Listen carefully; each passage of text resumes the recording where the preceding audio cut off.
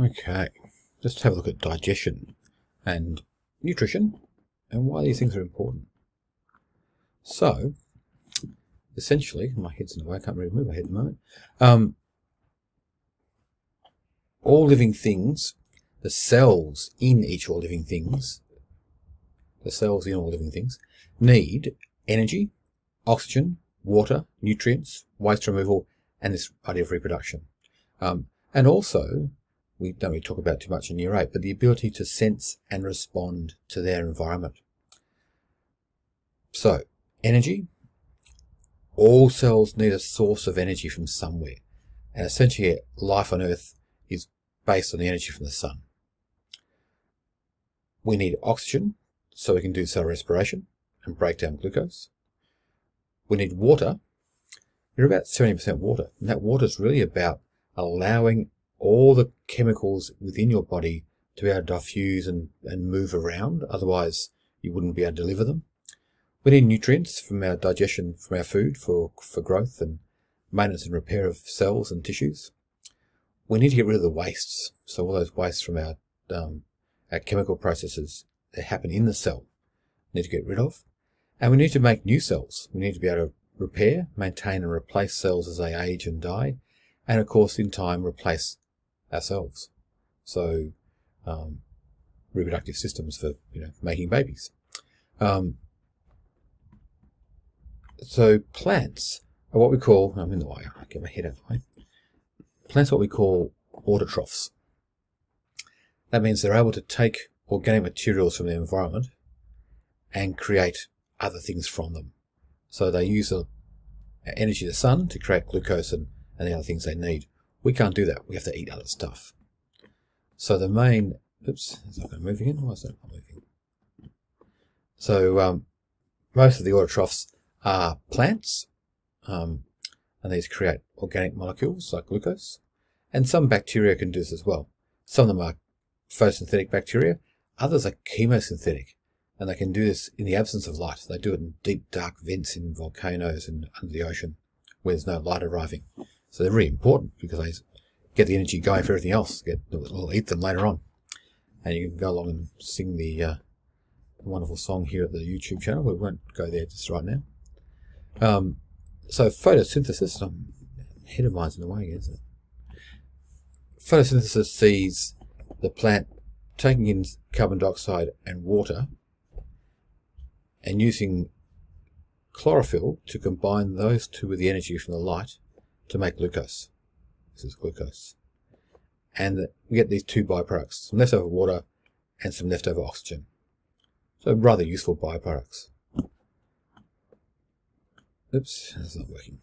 What's that button not working? Um, so essentially, uh, autotrophs can make the energy they need, well not make it, transform the energy they need um, and produce some really interesting little byproducts for everyone else. The opposite is the thing called cell respiration. In this little video here, will do some cell respiration for you, but I won't play that right now. Um, and here, the glucose is taken, is consumed with oxygen, produces carbon dioxide, plus some more water, but most importantly, it releases the energy inside the glucose for the, the, the cells to make use of. Now, plants do this for themselves. We do cell respiration. We have to eat the plant first. The plant will do cell respiration and it'll store the excess glucose it makes and in time it'll come back and use it for energy purposes. So we're what we call consumers. We're a heterotroph. We're a thing that consumes other stuff to get our energy. Um, and our energy comes in three forms, basically. We mostly um, need things like carbohydrates, and all the carbs you eat are essentially complex forms of glucose. So the intent is to consume that and release the glucose in it so we can um, use it in our bodies. We also like to eat um, lipids. So lipids are a, a, nice way of saying fats and oils. Um, while there's lots of energy in them and we will store excess energy as lipid in our bodies, most of the energy in a fat is broken down in the digestive system, so we don't see that much of it. What we're really getting is the fatty acids and the triglycerides, the things that make lipids, to use to make our own lipids. which we do all the time. The cell membranes are lipid. The hormones that are controlling your journey through puberty are lipid based. So they they need fats and oils for that. Um, and of course, we talk a lot about proteins. And Again, proteins contain quite a bit of energy, but we, again, that energy is lost essentially in the in the breaking down of the protein to its amino acids. Um, and we need those amino acids to make our own proteins. So lots of uh, protein needs to be in our diet because we are based on protein. We, you know, our, whole operation is controlled by proteins. Um, and of course, we also need vitamins and minerals and things in our in our diet. So lots of vitamins in our many coloured vegetables. They they tell us to eat as much different coloured vegetables as possible. Um, because they, each of those different colours often relates to different vitamin. Um, vitamins are important things like vitamin C allow your body to take up iron. Vitamin D allows you to take up calcium. So these things are really important parts of your diet. And of course, we also need lots of different metal salts and mineral salts. And these again come in our vegetables and all sorts of different food that we eat. Um, we need iron for hemoglobin. You know, we need all sorts of other different things. Calcium to make bones and to drive our, our nervous system but I'll talk about that another time. So, we have to digest this stuff. It's not just a matter of in the sun and making it. We have to actually go and chomp it up and swallow it and create opportunities to get the good stuff out of our food. So we have these quite complex systems for that purpose. And lots of chemicals that are called enzymes. This, this here is a pancreas. And the pancreas releases lots of these enzymes into the top of the small intestine, just in the bile duct. The bile ducts are useful for making a, a um, uh, bile salts, which break down our lipids in our diet.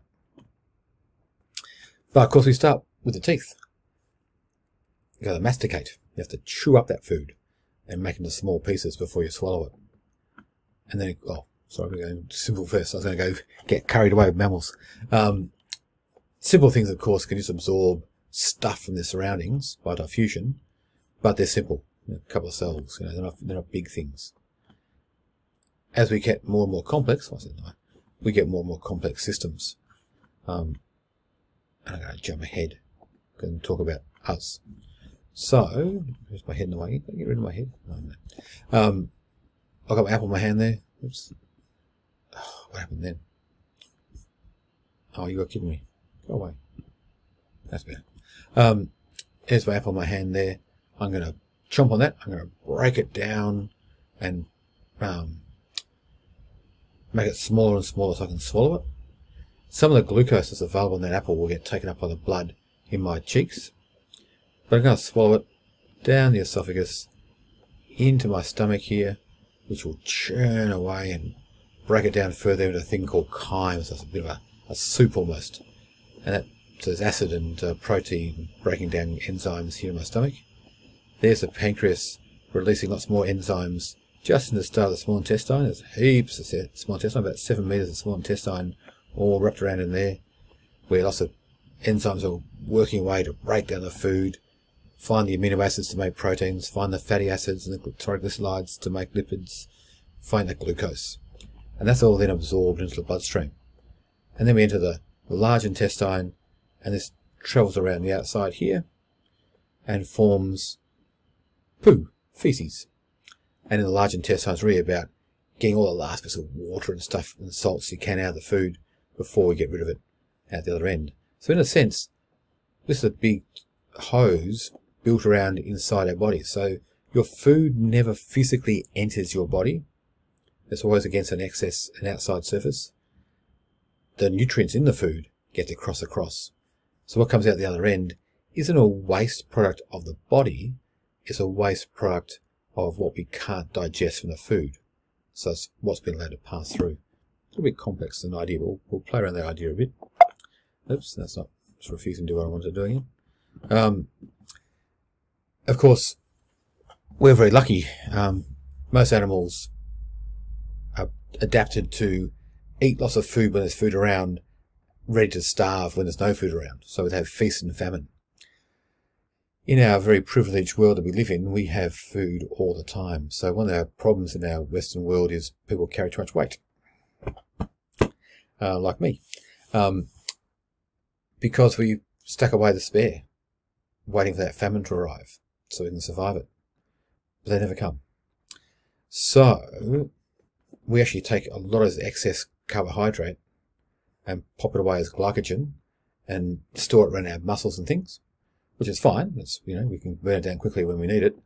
But then if we've got more, that becomes adipose tissue. So adipose tissue is the sort of stuff we put around our tummies that we don't want. Um, and it's always also the last we break down. So we're always using the stores closest to our muscles, and adipose is always broken down last, which is why it's so stubborn and hard to get rid of. Um, and that's a very quick little trip through the digestive system and the requirements for life.